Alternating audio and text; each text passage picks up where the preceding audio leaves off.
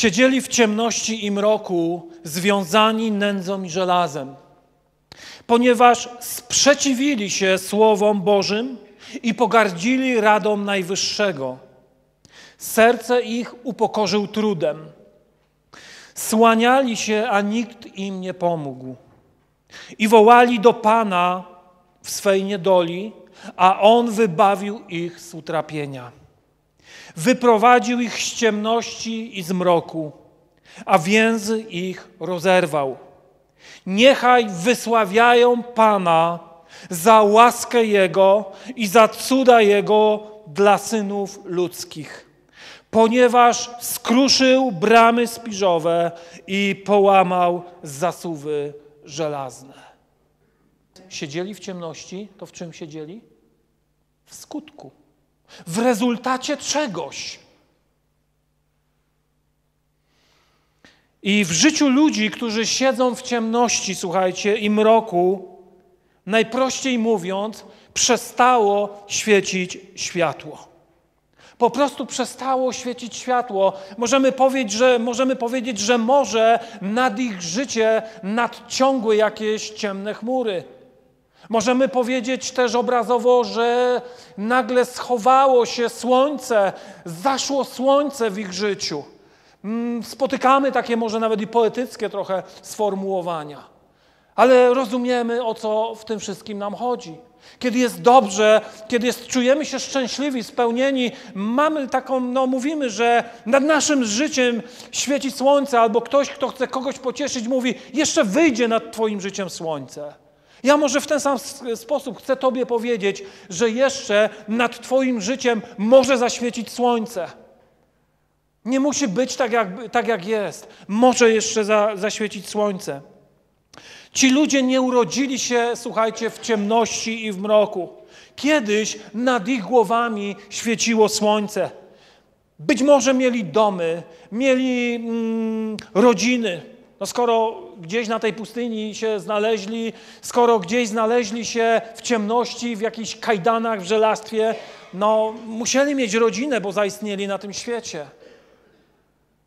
Może mieli pracę, może mieli marzenia, może mieli plany i może mieli jakieś głębokie pragnienie, żeby ich życie miało znaczenie na, na tej ziemi. Chcieli wejść na szczyty, a okazuje się, że siedzą w najgłębszym dole. Myśleli, że świat padnie im do nóg, a okazało się, że to oni leżą pod stopami innych. Zdani na łaskę lub niełaskę, na czyjeś dobro bądź na czyjeś zło. Wiecie, światło, podobnie jak woda, potrzebne jest do tego, żeby żyć. Bez światła nie ma życia. Tak jak bez wody nie ma życia, tak bez światła nie ma życia. Kiedy znika światło, kiedy robi się ciemno, tak naprawdę również zanika życie. Zobaczcie, co się dzieje zimą. Mamy teraz jesień, nadchodzi zima jest dużo, dłużej jest ciemno niż jasno. I co się dzieje w przyrodzie? Jakby życie w przyrodzie zamarło. Zwierzęta udają się albo gdzieś do dalekich krajów, albo gdzieś zapadają w jakiś sen. Drzewa zrzucają liście.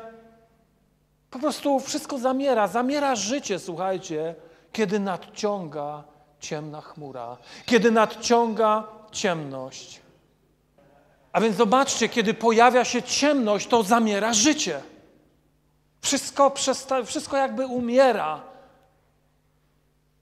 Ponoć, we, ponoć w Słowacji, to nie wiem, czy to jest prawda, czy nie, ja to czytałem w książce, jest taka jaskinia gdzieś wewnątrz góry, w której w całkowitej ciemności płynie rzeka. E, I woda ma to do siebie, słuchajcie, że w tej ciemności nie są w stanie no, zaistnieć jakiekolwiek bakterie, e, no, jakiekolwiek życie, jakiekolwiek mikroorganizmy nie są przeżyć w tej ciemności. Do momentu, słuchajcie, dopóki rzeka nie wypłynie z jaskini. Do momentu, dopóki nie zobaczy światła. I dopiero w tym świetle, dopiero kiedy pojawia się światło, zaczyna się życie. I ponoć, e, właśnie jak ta rzeka wypływa, to wzdłuż tej rzeki przy jaskini ponoć jest bardzo bujna e, roślinność. Chciałbym to kiedyś zobaczyć. Może ktoś wie, gdzie to jest.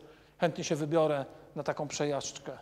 Czytałem o tym w książce. Mówię, nie widziałem na, na, na, na własne oczy. Ale tak jest, że w ciemności nie ma życia, ale kiedy pojawia się światło, z światłem przychodzi życie. Przychodzi bujne życie. Kolejnym pojęciem w tym fragmencie, tutaj, y, które jest użyte, to jest związanie. Tak, siedzieli w ciemności i co się dalej z nimi działo? To nie jest tak, że sobie siedzieli i w karty grali przy świeczce. Ale co dalej się z nimi działo? Byli związani żelazem i nędzą. Związanie. Kolejne pojęcie. Związanie jest ograniczeniem wolności, a nie na odwrót. Dlatego, że na początku była wolność. Bóg nie stworzył człowieka w niewoli, Bóg nie stworzył człowieka w kajdanach, w łańcuchach, tylko Bóg stworzył człowieka w wolności i do wolności. A więc na początku była wolność. Bóg stworzył człowieka tak bardzo wolnym, że postanowił dać mu wybór.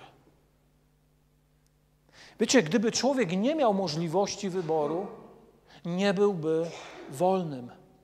Gdyby, no nie wiem, ktoś jakimiś guzikami, jakimiś przyciskami go sterował i gdyby on chciał wybrać zło i nagle go coś paraliżowało i odchodził, człowiek nie ma wolności.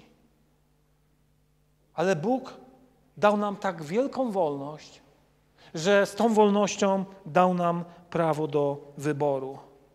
Człowiek w Edenie był całkowicie wolnym do tego, żeby zerwać owoc, i był również tak samo w stu procentach wolnym do tego, żeby go nie zrywać. Jednak, słuchajcie, nieumiejętne korzystanie z wolności często prowadzi do tego, że ją tracimy. Kiedy nie umiemy korzystać z wolności, kiedy jesteśmy nieodpowiedzialni, kiedy jedziemy na takim wózku, jakoś to będzie, że najpierw coś robię, a później się zastanawiam, to dzieje się tak, że człowiek tą wolność w końcu traci. Słuchajcie, wolność jest darem. Wolność jest darem, które daje ci prawo wyboru. Nie wszędzie yy, na ziemi Wolność jest takim darem, który daje prawo wyboru. Są państwa, są kraje, gdzie ludzie nie mają wyboru. Muszą wybrać taki system, a nie inny. Muszą wybrać taki światopogląd, a nie inny. Muszą wybrać no, taki styl życia, a nie inny, bo jest to z góry narzucone. Ale są miejsca i do tych należy również nasz kraj, że wolność jest darem i Ty możesz wybrać, jak życiem pokierować. Jak to życie, na jaki tor to życie mogę skierować. Brak wolności, brak wyboru, słuchajcie, oznacza brak wolności. Niewolnik nie może robić to, na co ma ochotę. Niewolnik musi robić to, co mu każą. I osoba, która się uzależni, osoba, która jest związana, która traci kontrolę nad tym, od czego się uzależniła. Dochodzi do takiego momentu, że przestaje panować nad daną substancją albo nad y, danymi zachowaniami, a to coś zaczyna panować nad nim. Ja byłem w takim miejscu, kochani, ja wiem o czym mówię. Ja byłem w takim miejscu, gdzie nie miałem kontroli, straciłem kontrolę. Alkohol i narkotyki całkowicie mną kontrolowały. I moje życie było zredukowane tylko do tego, jak mówiłem na pierwszym wykładzie, żeby zaleczyć kaca, i żeby mi nie brakło, a nie daj Boże, żeby mi nie brakło w nocy. Kiedy Jezus przyszedł, to się stało na zapleczu sklepu, gdzie był alkohol, sklepu, gdzie również prowadziłem alkohol. Kiedy Jezus przyszedł, bo postanowiłem nie milczeć. Tak jak ci ludzie w tym psalmie, wołałem do Pana, a On przyszedł i mnie wyzwolił. I tak na zapleczu sklepu, słuchajcie, w takich akurat okolicznościach i warunkach, zawołałem do Jezusa i On przyszedł i mnie uwolnił. I wiecie, co było pierwszym oznakiem, oznaką tej wolności?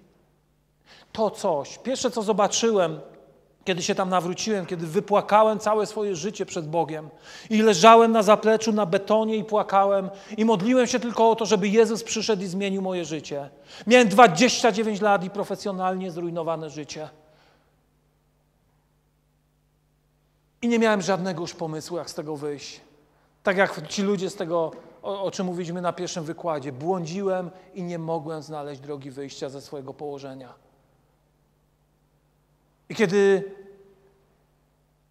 Jezus przyszedł, odpowiedział na moje wołanie i na moją modlitwę. Słuchajcie, pierwsze co zobaczyłem, to było zaplecze sklepu. Pierwsze co zobaczyłem, to skrzynki z alkoholem. I tak jak mówię, każda wrzeszczała, każda butelka w tej skrzynce wrzeszczała, żebym ją otworzył. Miałem takiego potwornego kaca. Ale zaszła pewna dziwna zmiana, której dawno, bardzo dawno już nie odczuwałem. To coś straciło kontrolę nade mną. Od tego dnia nie sam, ale z Chrystusem miałem kontrolę nad tym. I uwierzcie mi, 16 lat już nie miałem grama alkoholu w ustach. To jest prawdziwa wolność. Teraz nie piję nie dlatego, że nie mogę, że mi religia zabrania. Nie piję dlatego, ponieważ jestem wolny, aby podjąć decyzję, że nie piję. Jestem wolny również, żeby podjąć decyzję, żeby wypić. Ale moja odpowiedzialność, to czego się nauczyłem przez te wszystkie lata, pewnej takiej życiowej odpowiedzialności. Ja byłem w ogóle nieodpowiedzialnym człowiekiem, miałem dwie lewe łapy do roboty i byłem totalnie nieodpowiedzialny. I wybierałem to, co łatwiejsze. Wybierałem zapijać problem niż, niż go rozwiązać. Ale odpowiedzialność uczy, żeby problemy rozwiązywać, żeby z problemami się zmierzać. I kiedy zacząłem to robić, wytworzyła się we mnie pewna zdolność, której nie miałem wcześniej, radzenia sobie z problemami na trzeźwo. I dzisiaj mam wolność, żeby wypić, i mam wolność, żeby nie wypić. I wybieram wolność, żeby nie wypić. Chwała Jezusowi za to. Aleluja, aleluja. Osoba uzależniona nie ma wyboru, choć myśli, że ma. Osoba uzależniona myśli, że jak nie wypije jeden dzień albo dwa dni, to myśli, że ma y, kontrolę nad alkoholem. Ale wiecie, kiedy widać, że tej kontroli nie ma? Właśnie do pierwszego piwa, do pierwszego kieliszka, do pierwszej szklanki wina. Wtedy widzisz, że tej kontroli nie masz, a nie, że widzisz, że masz kontrolę, jak dwa dni nie pijesz. Guzik, prawda. Nie pij 16 lat. No to wtedy możesz powiedzieć, że, że masz kontrolę. Ale nie jak nie pijesz dwa dni, albo jak nie pijesz tydzień, albo nawet i miesiąc. Znałem ludzi, którzy nie pili w post. Wiecie, jest w liturgii Kościoła e, powszechnego jest jakiś, e, jest jakiś okres takiego, wiecie, postu, adwentu i w tym czasie ludzie postanawiają nie pić. Postanawiają nie pić. Czy to będzie 40, czy 41. Ale spinają się i nie piją. I wiecie, i dla nich to jest dowód, że nie mają problemu. A to, że 320 dni chleją, to jest szczególik. To, jest, e, to już się nie liczy. Ważne, że 40, czy tam 20, czy 30 nie piją. A więc tak to wygląda, moi drodzy, i nie dajmy się zwieść takiemu, wiecie, pokrętnemu myśleniu. Ja nie palę papierosów, dlatego że mi żona nie pozwala. Ja mam swoje lata i mógłbym sobie iść zapalić. A kto mi, kto mi zabroni? No powiedzcie. To żona mi zabroni?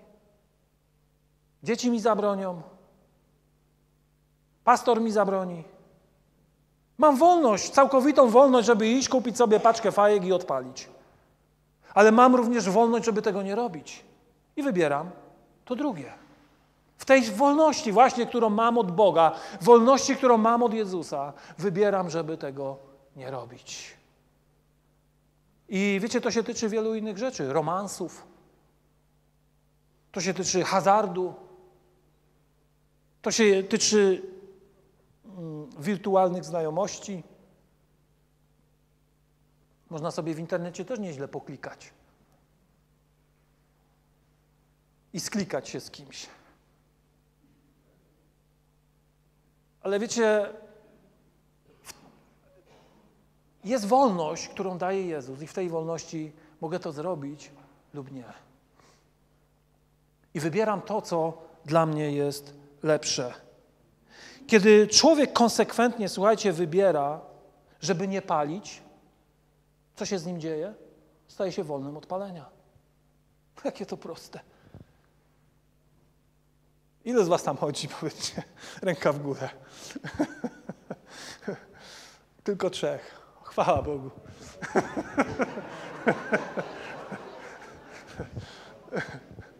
Chwała Bogu. Mamy tyle wolnych ludzi. Dopiero się zaczęło, a już tylu uwolnionych. Oby tak dalej, słuchajcie. Jeżeli konsekwentnie będziesz wybierał, żeby nie palić, będziesz wolny, żeby nie palić. To jest, e, słuchajcie, cudowne. Wolność polega na tym, że wszystko mogę, ale wy, wybieram to, co jest dla mnie lepsze. Wybieram to, co jest dla mnie wartościowsze. Na tym polega właśnie wolność. Na tym polega dojrzałe korzystanie z wolności. Że wszystko mi wolno, ale ja się nie dam z niczym zniewolić. Że wszystko mi wolno, ale wybieram to, co jest wartościowsze dla mnie, dla mojego życia i dla mojej rodziny, dla ludzi, których kocham,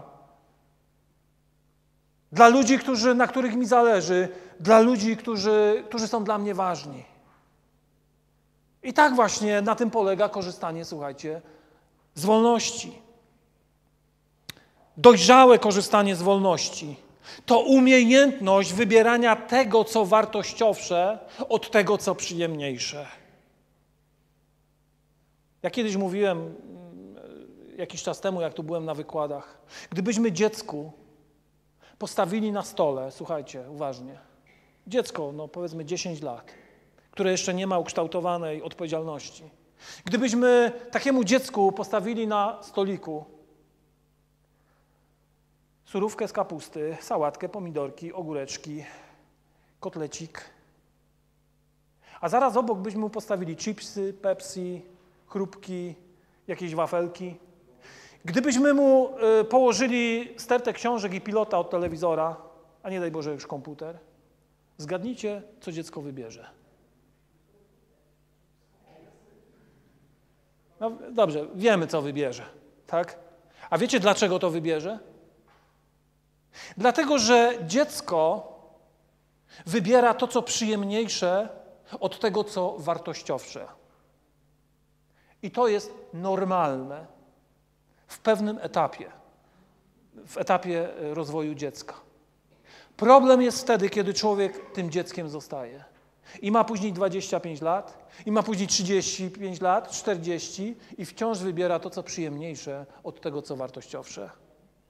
Może ma siwą brodę, może wchodzi w wiek, który ja wchodzę, że włosy się chowają, nie wypadają, chowają się, a wychodzą uszami i nosem. I wie, wiecie, ludzie wyglądają tak, a nie inaczej, ale zachowują się jak po prostu dziesięciolatki. Wciąż wybierają to, co przyjemniejsze. A życie nie na tym polega, żeby tylko wybierać to, co łatwe, to, co jest taką taniochą i to, co jest przyjemniejsze.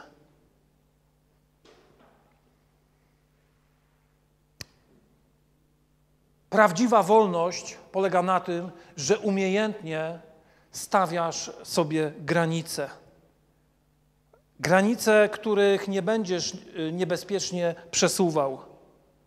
Jeśli zaczniesz to granice przesuwać, możesz źle skończyć. Powiem w ten sposób. Możemy sobie wyobrazić to e, w, w taki sposób. Jak blisko na przykład autostrady mogę, mogę puścić moje dzieci, żeby je auto nie zabiło. Jak blisko?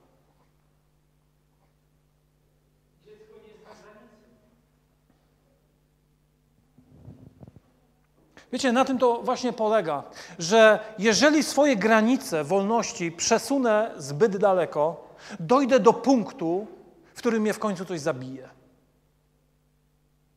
To tak jakbym, wiesz, no nie wiem, czy przy autostradzie się bawił, czy przy torowisku. No jak blisko mogę podejść torowiska czy autostrady, żeby mnie nie zabiło? Jak daleko mogę tą granicę przesunąć? Ja powiem tak, im dalej, tym lepiej. Amen? Im dalej, tym lepiej po prostu. I nie podchodzić. Ale utrata wolności na tym polega, że przesuwam granicę w coraz bardziej niebezpieczną stronę. I nawet nie wiem, kiedy mnie może rozjechać, kiedy mnie może poturbować.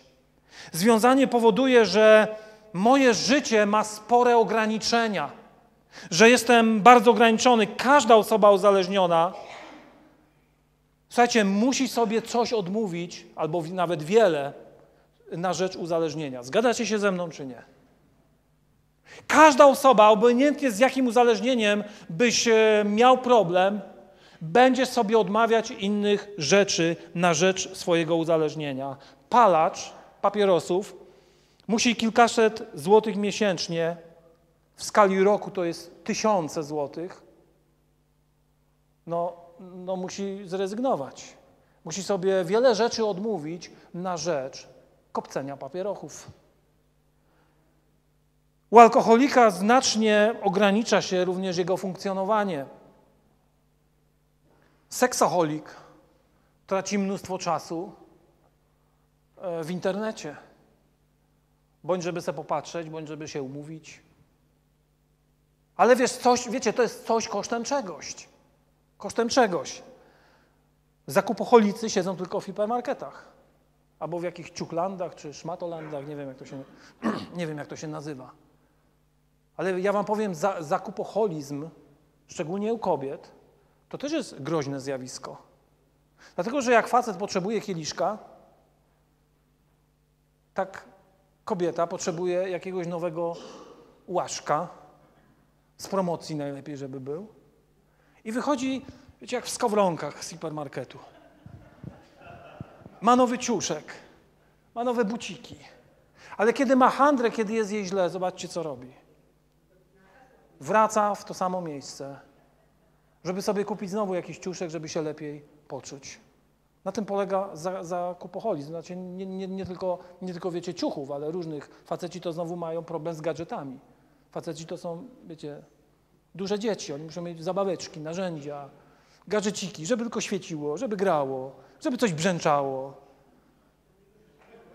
A kobiety tylko jakiś ładny ciuszek byle nowy, byle nowy. Nie może dwa razy iść w tym samym, bo to jest siara po prostu. A więc tak to wygląda, słuchajcie, i no, możemy się z tego śmiać, tak? Ale słuchajcie, to są groźne zjawiska, które urucham, uruchamiają pewne mechanizmy uzależnienia w nas.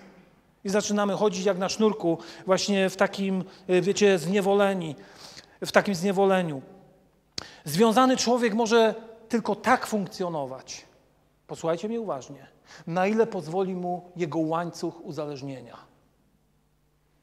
Czy jak oglądacie telewizję, czasami pokazują procesy e, z udziałem, wiecie, gangsterów, tak? niebezpiecznych przestępców. Nawet niedawno też pokazywali e, taką e, fragment w telewizji takiego procesu i prowadzili, wiecie, człowieka, który był zakuty, miał zakute nogi w łańcuchy i, i ręce. Wiecie, on nie mógł sobie tak iść na, na salę procesową. Bo fajnie, bo wiecie, inne jakieś e, mm, okoliczności ma, tak, to jest mu wesoło. Po prostu szedł wolno na tyle, na ile mu łańcuch pozwolił. Ani centymetra więcej. Jego ruchy były znacznie ograniczone. I osoba uzależniona, słuchajcie, jest jak taki więzień. Jest w takim więzieniu, jest na takim łańcuchu, jest jak e, ktoś właśnie taki w kajdanach, albo po prostu mówiąc wprost, jak pies na łańcuchu. i może zrobić tylko tyle, na ile łańcuch uzależnienia mu pozwoli. Sięgnie tylko tak daleko, na ile ten łańcuch mu pozwoli. A chcę Wam powiedzieć jedną rzecz. Im dłużej człowiek jest uzależniony, tym krótszy ma łańcuch. Ten łańcuch się skraca z każdym tygodniem. Ten łańcuch jest coraz krótszy z każdym dniem, z każdą godziną. I może z dnia na dzień tego nie zauważysz, ale w skali roku, w skali kilku lat będziesz widział, że Twoje funkcjonowanie i Twoje życie jest znacznie ograniczone. I Twój łańcuch uzależnienia przyciągnął Cię znowu do siebie. W końcu jest tak krótki, że pozwala Ci tylko chodzić od śmietnika do śmietnika, że pozwala Ci tylko chodzić, wiecie, w jedno miejsce pod jedną budkę z piwem, bądź pod jedną melinę, na jedną, ław, na jedną ławkę w parku. I to wszystko. I nauk Cię trzyma na swoim łańcuchu i ani kroka dalej. Klatka schodowa, żeby się wyspać, albo jakaś piwnica, żeby coś znaleźć. Śmietnik ten, ten i ten, na tym i na tym osiedlu, bo to są, wiecie, rejony jeszcze. Biada, jak wejdziesz nie na swój rejon. I człowiek chodzi, wiecie, na takim po prostu łańcuchu. I z każdym dniem ten łańcuch jest coraz krótszy. Stracisz w końcu zasięg z rodziną, stracisz zasięg z najbliższymi, stracisz zasięg z tymi, na których do tej pory ci zależało. I zaczniesz pogrążać się naprawdę w ciemności w tych kajdanach, w tej nędzy, w tym żelastwie, słuchajcie. Ja znałem ludzi, którzy nigdy w życiu nie wybraliby, wiecie, złoża złomu. Ale to właśnie nauk, to to, że ich życie zostało właśnie sprowadzone tylko do tego, żeby tylko chodzić, wiecie, mm, od miejsca do miejsca, gdzieś tam wyglądać, żeby tylko coś metalowego znaleźć a później to ciągną na swoich wózkach, a to wannę, a to jakiś piec, który im ktoś da, to jakąś starą pralkę. Po co? Żeby dzieciom zeszyty kupić? Żeby żonie zanieść? Bo martwisz się i troszczysz, co dzieci twoje będą jadły? Nie, po to, żeby to przechlać, po to, żeby znowu sprawić, żeby o jedno oczko mniej było w tym łańcuchu. Słuchajcie, takie jest życie.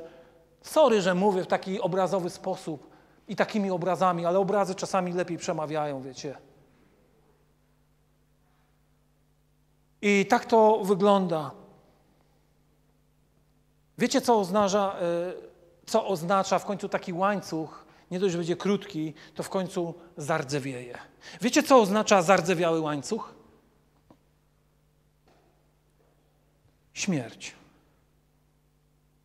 Zardzewiały łańcuch oznacza śmierć. I poz, pozwólcie, że posłużę się ilustracją. Znowu obrazem psa na łańcuchu. Dzisiaj w miastach to jest rzadkość. Na wsi, na wsi jeszcze gdzieś tam na wichurach można takie zjawisko zobaczyć psa na łańcuchu. Tak? Jeszcze, jeszcze coś takiego e, funkcjonuje. I nie wiem, czy zwróciliście kiedyś uwagę, jak jest piesek młody, jak jest pełen życia, pełen energii yy, i taki, wiecie, zdrowy, ma chęci do życia, chęci do tego, żeby szczekać, żeby jeszcze gdzieś tam za jakimś kotem, wiecie, pociągnąć. Zauwa- nie wiem, czy zwróciliście kiedyś na to uwagę. Jak wygląda łańcuch takiego psa?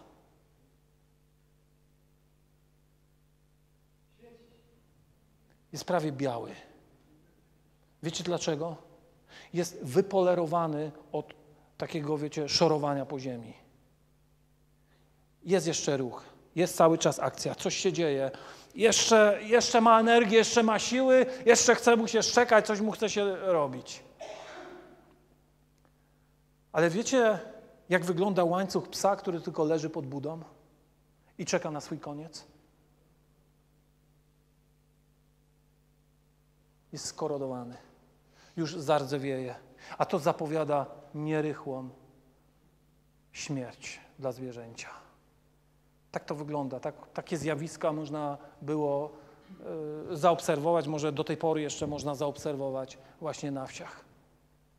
W końcu Twój łańcuch będzie tak krótki, że się już nie będziesz mógł ruszać. W końcu Twój łańcuch będzie tak krótki, że tylko będziesz przygwożdżony do jednego miejsca. Aż w końcu zacznie rdzewieć. A to zapowiada nadejście końca. Słuchajcie, nie dajmy sobie, nie wiem, wmówić, okłamać siebie, że ja nie mam problemu, jeśli mam problem. Jeśli czujesz, że Twoje życie jest jak na takim po prostu łańcuchu, to zrób coś z tym. Jezus chce przeciąć ten łańcuch. Jezus chce dać Ci wolność.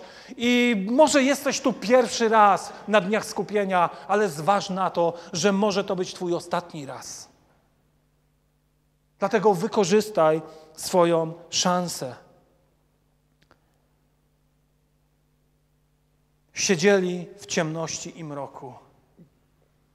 Zobaczcie, ciemność, mrok, żelazo i nędza, ubóstwo i ciężar, niedostatek i wysiłek, żeby tylko przetrwać kolejny dzień. No ludzie kochani, czy na tym polega życie, żeby przetrwać tylko kolejny dzień? Żeby tylko patrzeć do wieczora, żeby piątek minął, żeby tylko patrzeć do wieczora, żeby jakoś kolejny dzień zleciał, żeby się gdzieś ułożyć, a najlepiej zakropić sobie gdzieś w szyję, żeby szybciej usnąć, żeby nie pamiętać, żeby po prostu się odciąć i odizolować. Czy na tym polega życie? Czy tak chcę przeżyć resztę mojego życia? Czy nie dość już straconych lat, czy nie dość już straconych pieniędzy, czy nie dość już zerwanych relacji? Czy nie dość już tego? Czy, nie wiem, jeszcze masz na tyle długi łańcuch, że myślisz sobie, a jeszcze trochę pobrykam, jeszcze mój łańcuch jest długi, jeszcze mogę sięgnąć do tam sklepu na innym osiedlu. No słuchajcie, no przecież życie nie na tym polega. Życie nie polega na tym, żeby tylko właśnie być w czyjejś niewoli. Ale poczuj, co naprawdę znaczy być wolnym. Nie tylko od nałogu, ale w ogóle od grzechu. Wiecie, od takiego myślenia nawet, żeby coś złego zrobić. Poczujcie tą wolność, poczujcie smak tej wolności, poczujcie to, co Jezus Tobie chce dać. Znowu powtórzę się, posłał słowo, aby ich uzdrowić. Słuchajcie, przyszedłeś na ten świat nie po to, aby Twoja wątroba przefiltrowała, nie wiem, hektolitry jakichś paskudztw, jakiś toksyn. Nie przyszedłeś na ten świat po to, żeby, wiecie, Twoje płuca czyściły się e, z jakiejś takiej smoły, z, tych, tych potwornych toksyn. Przecież to nie po to Bóg dał Ci takie organy. Nie po to Bóg dał Ci nerki, nie po to dał Ci rozum, nie po to dał Ci mózg, żebyś go truł. Życie to coś więcej, słuchajcie, niż tylko zagłuszanie niepozytywnych emocji. Życie to coś więcej niż tylko, nie wiem, wlewanie w siebie po to, żeby zapomnieć. Siedzenie w ciemności, słuchajcie, ma również to do siebie, że człowiek mniej widzi. Jeśli człowiek siedzi w ciemności, to mało widzi. Nie widzi dokładnego obrazu, może widzieć tylko jakieś pewne zarysy. Gdyby nagle zrobiło się tu ciemno w tym pomieszczeniu, nie było światła, widzielibyśmy pewnie jakiś zarys, coś byśmy tam widzieli. Ale czy to by oddało faktyczny stan rzeczy? No ludzie nie. Wtedy, kiedy w biały dzień możemy się widzieć, to widzimy, jak ktoś jest ubrany, widzimy, czy ma, y, ktoś y, jest na czerwono, czy na czarno, czy na różowo. Widzimy pewien obraz, widzimy brązową wykładzinę. Widzimy wiele rzeczy, słuchajcie, których byśmy nie widzieli w ciemności. I tak samo jest z ludźmi, którzy siedzą w ciemności. Wielu rzeczy nie widzą. Nie widzą, jak wygląda naprawdę rzeczywistość. Nie widzą, jak wygląda naprawdę ich stan. Tak to wygląda. Wszystko, co widzi, to jakieś odcienie szarości swojego życia. I myśli, że życie jest szare, byle jakie i byle przetrwać kolejny dzień. Może Twoje życie to właśnie przetrwać kolejnego kaca, wyżebrać kolejne 50 groszy i jakoś dowlec się do wieczora. A może Twoje życie to, nie wiem, ciągła zmiana partnerów, a Twoje łóżko to jedyny wyznacznik szczęścia. A może całe Twoje życie to skreślanie kuponów totolotka w nadziei, że kilka paczek banknotów da Ci pełną satysfakcję. Słuchajcie, niektórzy już tyle kasy wydali pod totolotkiem, czy w totolotku, jak to nazwać, że gdyby to do kupy zebrali, to by było dokładnie tyle, o co grają.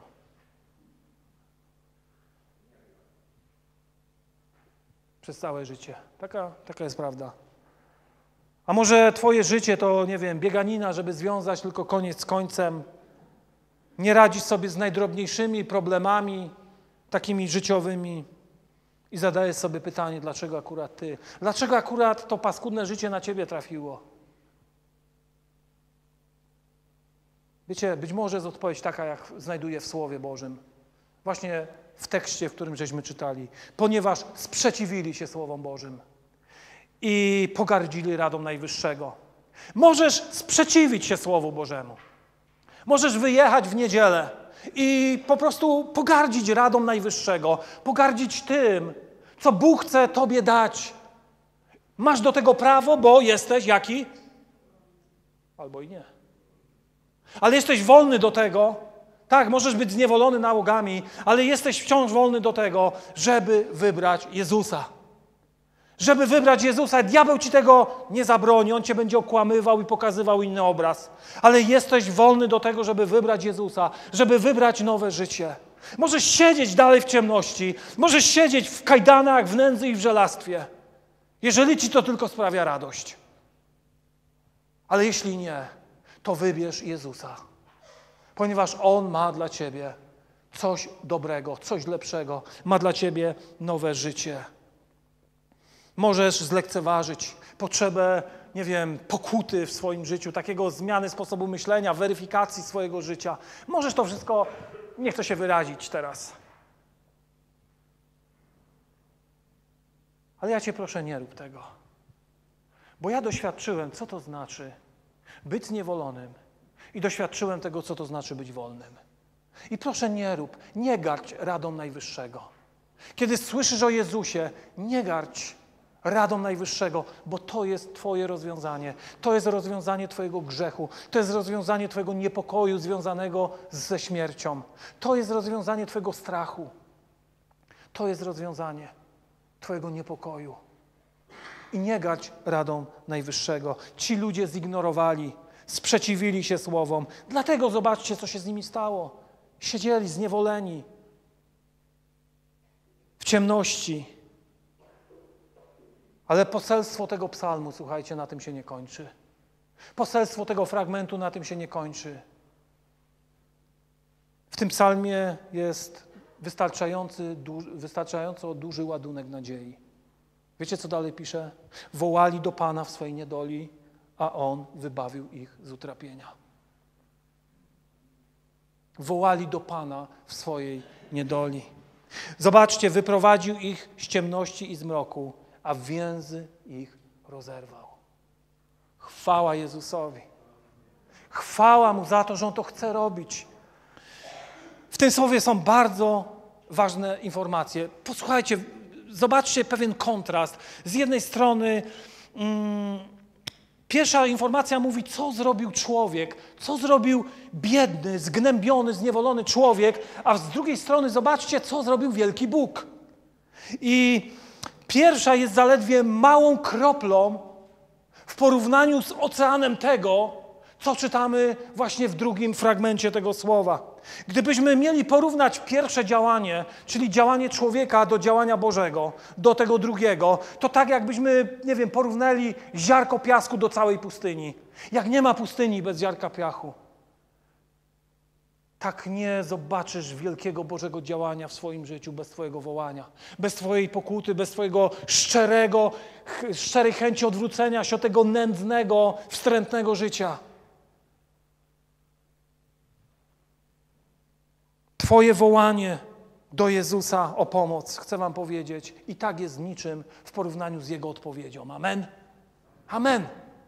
Zobaczcie, jak Bóg niewiele chce. Wiele i niewiele. To nie jest tak, że wiecie, mogę sobie nagrać, że włączę teraz tutaj magnetofon i ktoś e, przyjdzie i sobie nagra, no Panie Jezu chce być wolny. Dobra, jest nagrane, jesteś wolny. Tak to nie działa.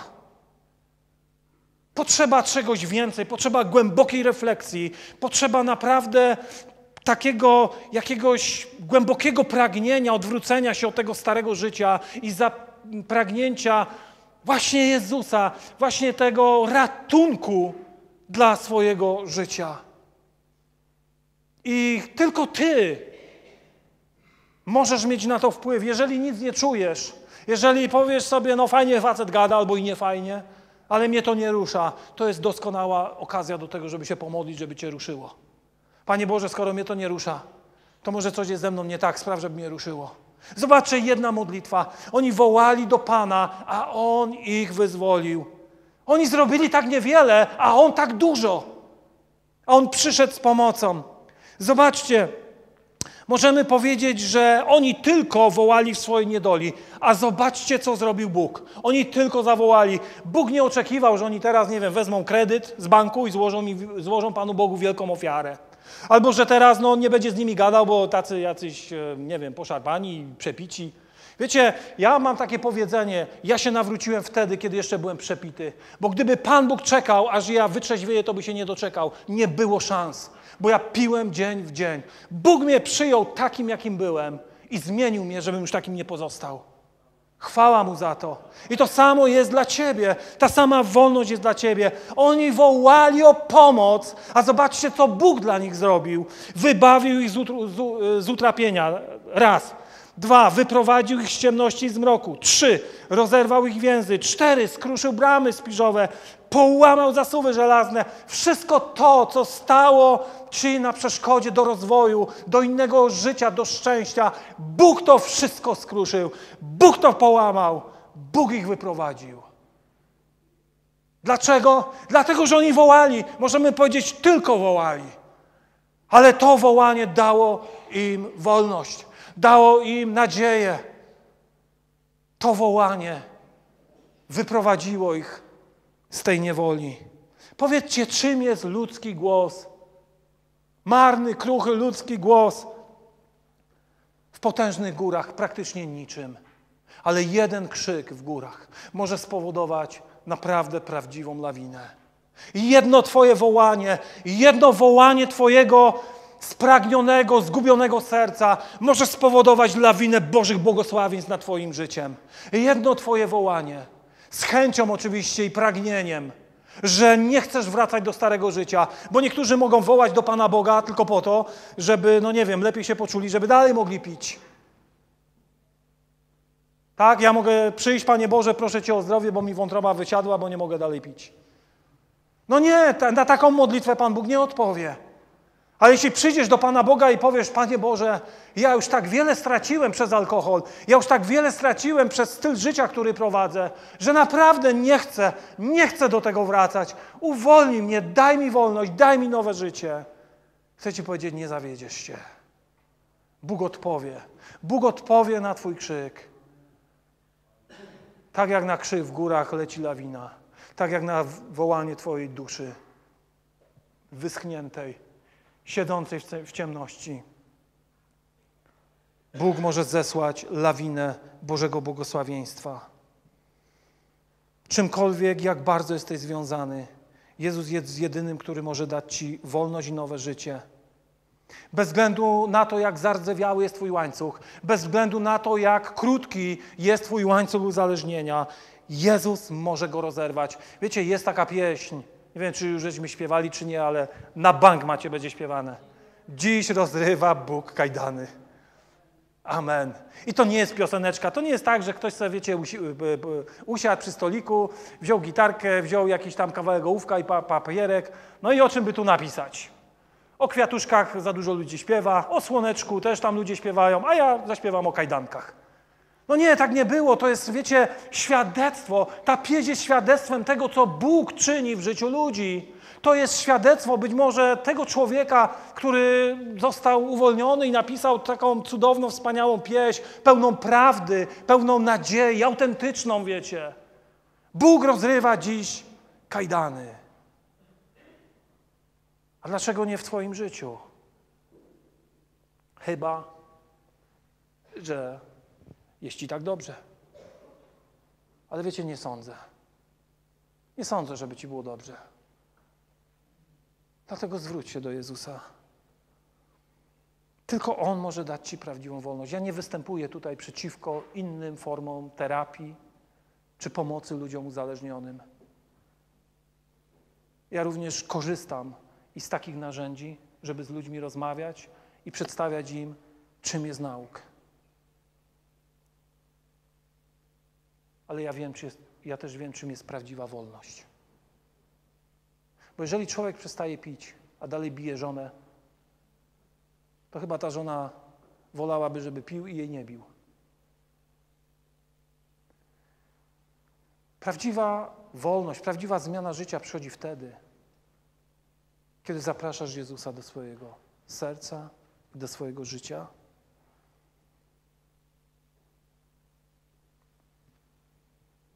Powiem Wam, niektórzy są już w takim stanie, w takim stadium i w takim miejscu, że jak im Bóg nie pomoże, to już im nikt nie pomoże. Dlaczego tak mówię? Dlatego, że ja byłem takim człowiekiem. Mnie już, nie było, mnie już człowiek nie był w stanie pomóc. Mnie szpital, medycyna nie była w stanie już pomóc. Niektórym, niektórzy tak daleko zaszli, albo niektórzy mają tak krótki łańcuch, że tylko Boże cięcie, tylko Boża interwencja może przynieść prawdziwą wolność. Słuchajcie, niech to, niech to słowo was mieli, przeżywajcie to, rozmyślajcie i rozważajcie. Rozmyślajcie o tym. Będą, nieraz będzie okazja do decyzji, do podjęcia decyzji, do tego, żeby coś ze swoim życiem zrobić. Wykorzystajcie to. Ja nie chcę bazować na czyichś emocjach. Mógłbym podnieść barwę głosu, spowodować emocja, a później na tych emocjach do ciebie przemówić. Ja wolę, żeby zdrowy rozsądek do ciebie, przez ciebie i do ciebie przemawiał. Także przemyśl to, co już słyszałeś, to, co będziesz słyszał, a będzie również i czas decyzji. Dziękuję.